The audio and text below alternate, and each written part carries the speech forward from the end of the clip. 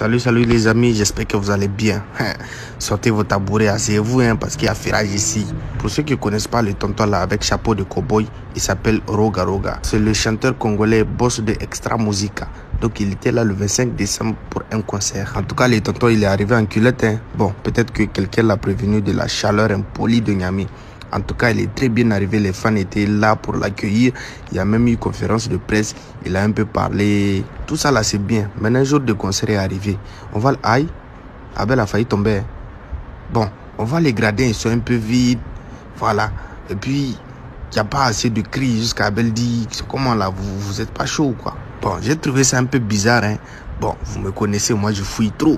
Donc je suis parti chercher les images. Les amis, je vous dis, sur aucune vidéo, la public n'a été montré à ce moment où le devant était vide. En tout cas, d'après mes recherches, peut-être qu'il y a une vidéo que j'ai pas vue.